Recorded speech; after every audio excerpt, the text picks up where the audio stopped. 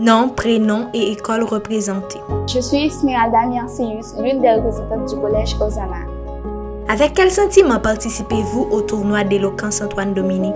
Je participe à ce concours avec un sentiment de ravissement. Qu'est-ce qui vous fait croire que vous allez remporter ce concours? Donc, je ne crois pas que je vais remporter ce concours, mais que je vais travailler pour satisfaire l'attente de mes fans. Un message pour vos supporters? Nous vous attendons, venez en foule pour nous supporter.